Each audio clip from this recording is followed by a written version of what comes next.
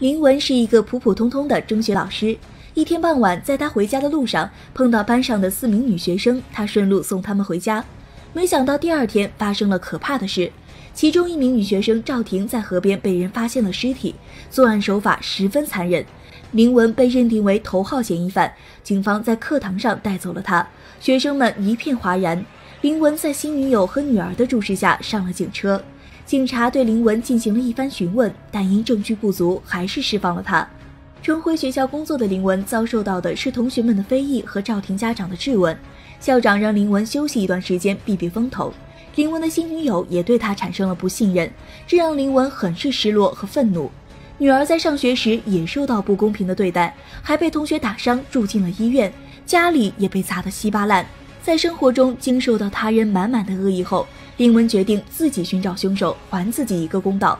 他来到案发地点附近，从一些农民工口中得知，有一个叫李瘸子的大叔经常在这一带放羊，或许他知道一些线索。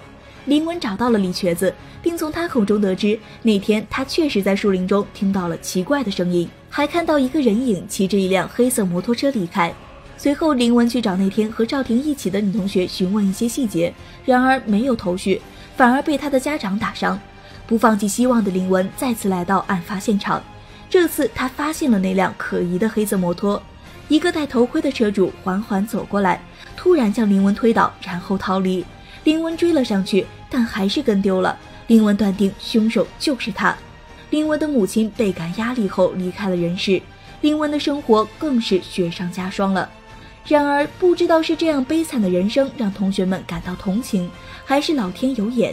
那天与赵婷同行的同学给林文交代了关于之前他们碰到被辞退的变态楼管的事。原来之前的变态楼管因为偷女生内衣被辞退，赵婷正是指出他变态行为的证人。此人名叫韩正龙。